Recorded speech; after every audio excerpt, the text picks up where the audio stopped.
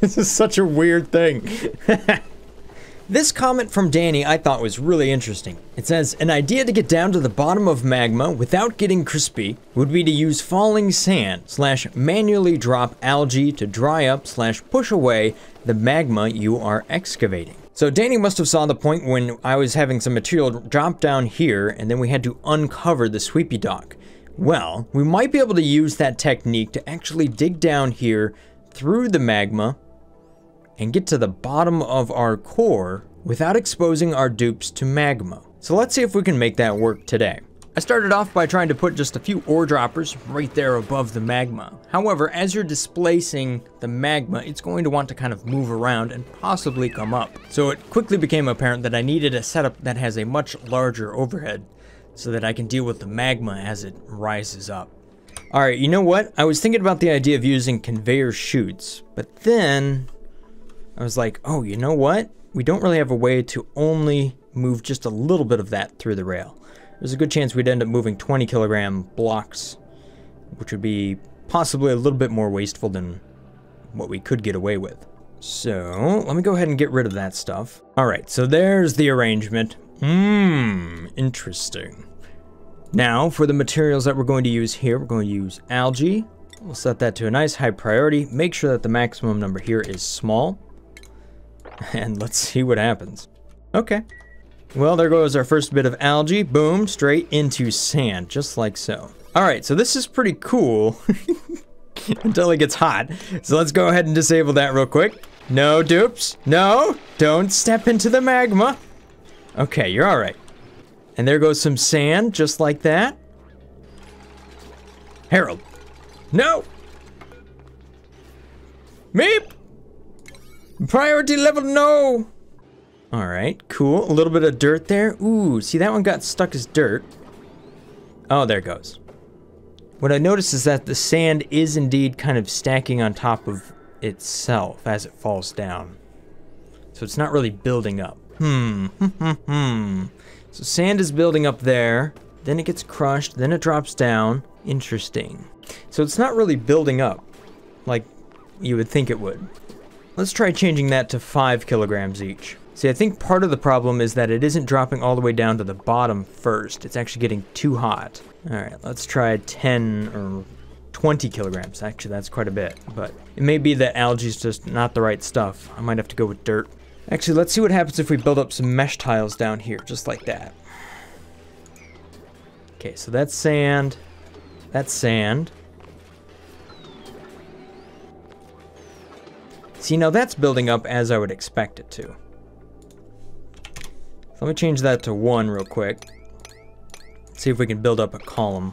Oh yeah, see that's working. It just needs to touch the bottom first before it actually does all of its phase changing. That was the issue. Interesting. The weird things you learn about this game when you start doing odd things like this. Alright, so this is working pretty good in that we are supplying to the first three. However, this last one over here is not getting much love. I think that's about as high as I want to go. Let's go ahead and disable that. Bruh, I said disable. Alright, we can manually mop that now because there's not much magma there. There you go, Ruby. Haha! -ha. Hmm, still too much liquid there. Aha, but now you can mop it. Nice. Alright, so now that we've done this number here, let's see if we can go ahead and build the ladder down into this area. Anyhow, you can see that we were able to dig that out, so that actually worked pretty good. So let's go ahead and deconstruct that layer right there and see what happens with the sand as it falls down. Oh, you see, it got destroyed by the time it fell down to the bottom. Hmm. Here I was thinking this was going to be super simple. nope. Not simple at all. Alright, so now I'm going to switch all of this to dirt. Since algae melts at 140 some uh, 125 degrees into dirt and then dirt has to then melt at a much higher temperature into sand there's a better chance it might actually survive all the way to the bottom let's see here dirt no it made it right there all right bigger clumps of dirt then ooh ooh ooh it's getting much closer hmm hmm, hmm, 15 kilos of dirt all right. Yep. Yep.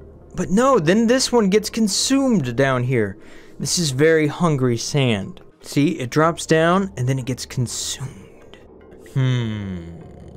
All right, so maybe just delivering by hand here only works well for a little hole.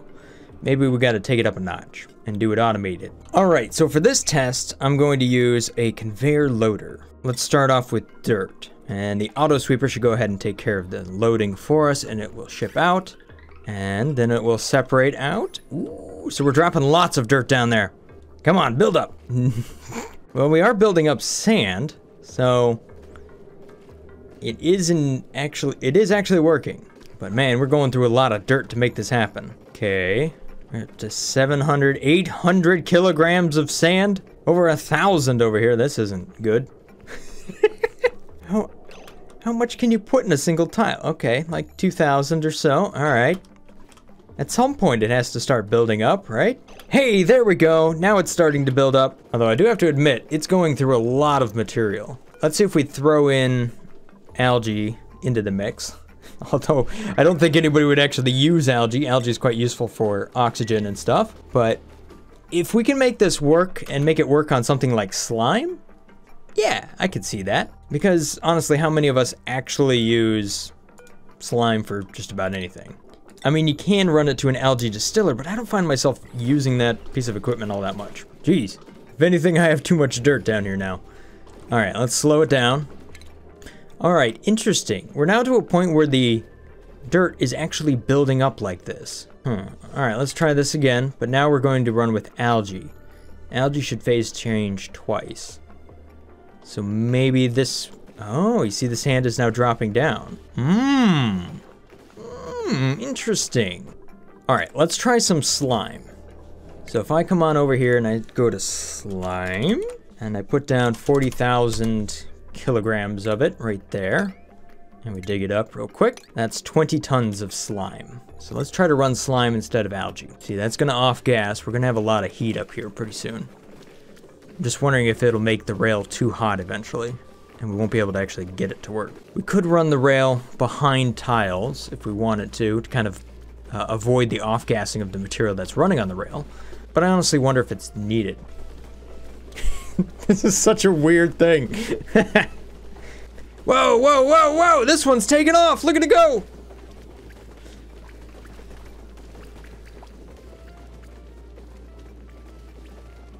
Oh, then it all compressed down. Doops, we have a problem. Oh my gosh! Are you seeing this?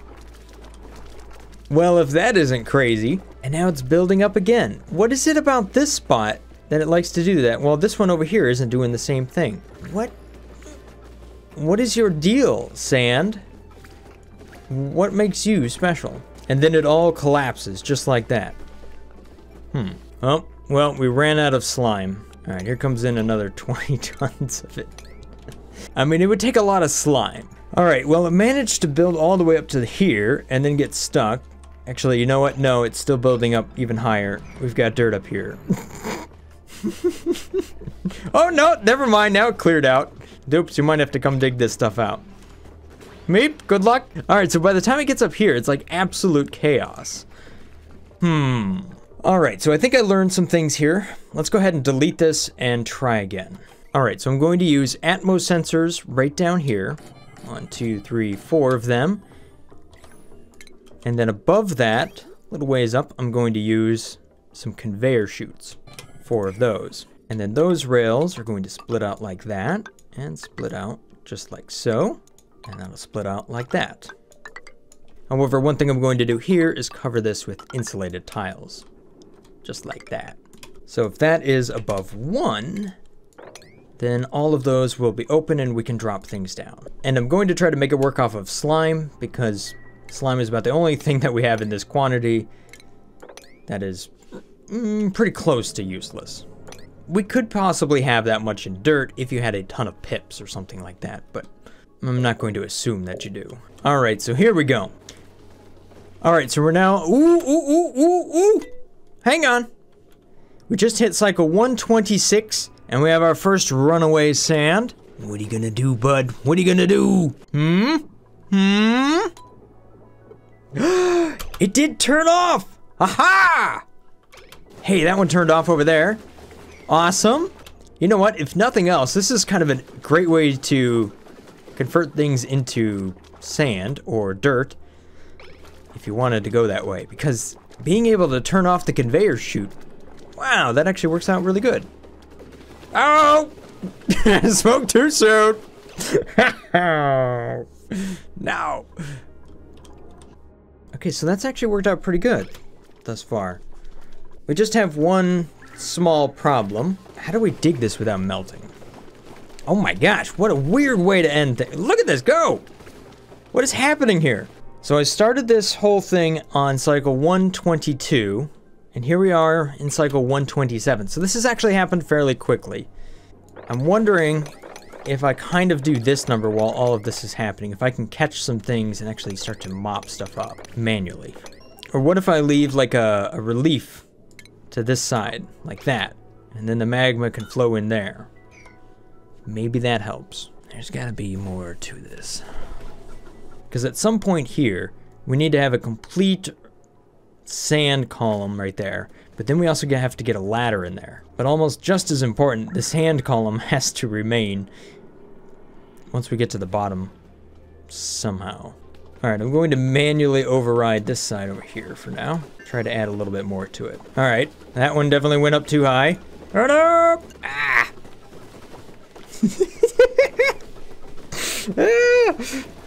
I know there's automation down here somewhere. All right, so there we have it. I was able to build up one column of sand. Hmm. Hmm. Hmm. All right. So now, let's see if I can build a ladder for this. Come on, Harold, you got it. Uh, what happened over here? no, no. This area is getting too hot. Alright, here we go. Now the dupes are giving this a try. Building up a fire pole right there and a ladder right there. So far, so good. Hmm? Hmm? I don't know about that. Um, I'm seeing magma down here. Oh no. More's leaking in. Somebody's got the horrible job of mopping all this up as we try to dig down into it. Uh, meep. Ah, meep! Okay, well, that didn't work. Alright, so that unfortunately didn't work out. Hmm. Alright, so the last attempt didn't really work out all that well. So this time I'm going to try to build tiles like this, focus on building the ones in the middle, then building the ones on the side, deconstructing the ones in the middle, and then building the two down below it, then the sides, and so on and so forth all the way down.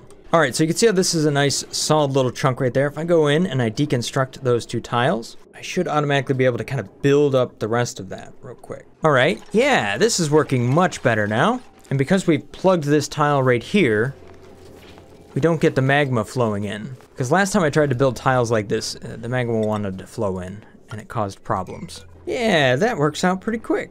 I like it. I mean, you have to kind of sit here and click all this stuff, but, eh, I mean, it's not bad. Go down there, deconstruct that, deconstruct that. And you know what? If you're really kind of on top of your micromanagement here, you could make a decent amount of progress in the cycle. I think I'm down about four tiles just in this cycle alone. Uh-oh, we got a little bit of magma that showed up in there. Snuck in somehow. Oh, there we go. At least it, it found it. So we somehow got rid of it. I think it was forced in through this tile right there. You can only deconstruct the center ones once you've built up the ones on the side, but yeah, this is actually working out really quite well. Uh-huh, uh-huh, uh-huh. All right, let's see what happens once we go below where the sand is located. My guess is we're really going to start to bring in a lot of magma. But if I'm strategic about this, then I know there's some obsidian right there, then I won't have to worry about that spot. Okay, now I know that this one will be clear when I go to deconstruct it, which means I can build down here. And now that that's built, I can go ahead and deconstruct this one. So long as you have one covered tile, I think you can get through this. So that's really what the sand was allowing us to do there, was to kind of always keep one tile covered. Dun, dun, dun. So now, how do you get through this spot? See, when I kick out a spot there, magma's going to want to flow up. Yes, and just like that. No! Oh, wait a minute. We might be able to manage it. Same with if we get rid of that spot right there, because it is next to some obsidian. Okay, so we're able to drop that down. Let's go ahead and build up two spots right there. See if we can force that out. No, not what I wanted you to do. Ah, see it, it wants to flow back up. Ah, I'm starting to lose the battle. all right, so when I was initially starting to look at all of this stuff here, I was trying to figure out a pattern that would allow me to dig down like this, or maybe using some doors to to uh, compress the magma. You can definitely use doors to destroy magma. I don't know, getting down to the bottom of the core, you do end up with a little bit inside of this right here. And if, if you can manage it well enough by going through enough obsidian, you can make it, albeit with some crispy dupes. But the idea of pouring sand down there, that was interesting because it really opened up a, a much greater opportunity to really dig down much further into magma without any sort of obsidian help. So there's definitely something to that uh, strategy there. Hmm.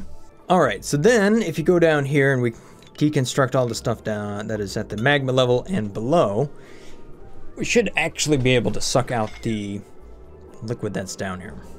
And we could do that by using a pitcher pump. We should be able to put that right there. That is so long as we are in a vacuum, which we're pretty close, but we're not quite there yet. Except for you can't reach the pitcher pump. Alrighty, fine then. Sweepy dock it is. So that's cool, but then again we found ourselves right back to this same strategy over here. Hmm, hmm, hmm, hmm. Alrighty, so now that I've set one of these up and played around with the idea, what are my thoughts? Well, initially it seemed really, really promising when we were able to build it up using just one kilogram blocks of sand. And that actually did work when it dropped onto a mesh tile and then converted. However, once we really tried to put it to use down here and we started to get down in this area where you can see that there's a, just a ton of magma, 2,400 kilograms, it ended up compressing that sand down and we had to bring in lots and lots of material. At that point, it was like well over 20 tons just to build up this one single column right there, which makes me think that it's really not worth doing. Especially when you consider the fact that you still have to kind of dig down here and build all of these tiles in the first place. Maybe just kind of going with the sweepy dock and then moving that down every two tiles every cycle or so might just be an easier way of getting down to the bottom of, the, of your map. So maybe that seems like this whole thing wasn't actually worth it. However, in the pursuit of finding an answer to our question right here, I think we might have found a different solution for possibly creating some sort of sprinkler system for magma over here. So I'm definitely looking into this idea of maybe making a little cooking chamber right here. Uh, not only that, possibly having some sort of method as far as automating stuff that we're bringing into magma in order to boost the amount of magma we have or a cooler temperature one if we wanted to convert slime into dirt. Not that we really have a huge need for that inside of our base, but maybe you do, and maybe it's worth looking into. Hmm, interesting. However, that seems like another experiment for another time. For those of you guys that are curious about what's going on behind the scenes here, I have spent the last couple of weeks recording lots and lots of CAD tutorials, trying to turn this 3D printer that I've made uh, into a CAD training class, and I've made it through about two thirds of that, maybe a little bit more than that thus far. I think I have around eight more to go, and then I should hopefully be done with all of that. So I've made a lot of progress in the last month here. So thank you guys so much for your support. I'll see you again next time. Stay awesome, guys. Peace. Brothgar.